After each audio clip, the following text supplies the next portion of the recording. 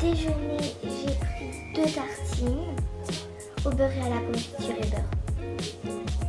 Une banane, du jus d'orange et un chocolat chaud. Donc, euh, maman va vous montrer.